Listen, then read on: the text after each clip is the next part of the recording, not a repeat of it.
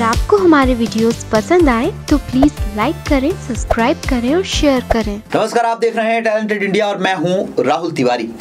मध्य प्रदेश में लगातार बढ़ते अपराध का ग्राफ हमेशा ही सरकार और विपक्ष के बीच तलखी का कारण रहा है। कहीं ना कहीं मध्य प्रदेश में जब भी अपराध बढ़े हैं, विपक्ष ने सरकार पर इसकी ज़िम्मेदारी ला दी है और सरकार पर तीखे आरोप लगाए हैं।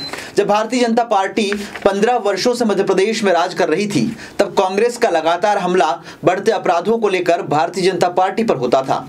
लेकिन अब जब मध्य प्रदेश में कांग्रेस की सरकार बन चुकी है, अपराधों की गति उसी तरह से आगे बढ़ रही है। यानी कहीं ना कहीं सरकारें ज़रूर बदली, लेकिन अपराधों को लेकर मध्य प्रदेश का रिकॉर्ड और मध्य प्रदेश की तासीर नहीं बदल पाई। और इसे लेकर अब जो आंकड़े सामने आए हैं, वे आंकड़े बेहद ही चौंकाने वाले हैं। मध्य प्रदेश में बच्चों के प्रति अपराधों की संख्या सबसे ज़्यादा है और इसे लेकर मध्य प्रदेश अभी भी अव्वल ही बना हुआ है। एक सरकारी रिपोर्ट के अनुसार मध्य प्रदेश में हर साल बच्चों के प्रति होने वाले अपराधों की संख्या में तेज़ी से इजाफा हो रहा है। और ये आंकड़े कहीं ना कहीं सरकार के लिए और मध्य प्रदेश के हम तमाम सारे नागरिकों के लिए भी चौंकाने वाले हैं। क्या कहती है रिपोर्ट? आइए दिखाते हैं आपको। मध्य प्रदेश में अपराध के आंकड़े लगातार बढ़ रहे हैं। स्टेट क्राइम ब्यूरो की ताज़ा रिपोर्ट के अनुसार बच्चों के प्रति अपराध के मामले में मध्य प्रदेश देश में अव्वल स्थान पर है। रिपोर्ट के अनुसार मध्य प्रदेश में हर रोज 27 बच्चे लापता हो रहे हैं। पुलिस लगातार इन अपराधों पर नियंत्रण करने की कवायदों में जुटी रहती है, लेकिन इन आंकड़ों में लगातार वृद्धि जारी है। मध्य प्रदेश पुलिस के स्टेट क्राइम ब्यूरो की ताज़ा रिपोर्ट में 2018 में प्रदेश में 9,800 बच्चे लापता हुए।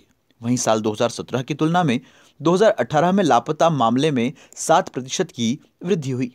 तो जुड़वा बच्चों के अपहरण और हत्या के बाद लापता बच्चों का एक मामला एक बार फिर से प्रदेश में चर्चाओं का विषय है। मध्य प्रदेश में अपहरण के चौंकाने वाले आंकड़े।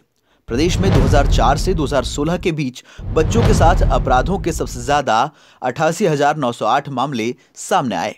साल 2016 में हर रोज बच्चों के खिलाफ ज्यादती के 38 मामले सामने आए। साल 2016 में 8,503 बच्चों की गुमशुदगी के मामले दर्ज हुए। इन मामलों में छह लड़कियाँ शामिल थीं। रिपोर्ट के अनुसार 2004 से 2016 के बीच बच्चों के अपहरण के तेईस मामले दर्ज हुए।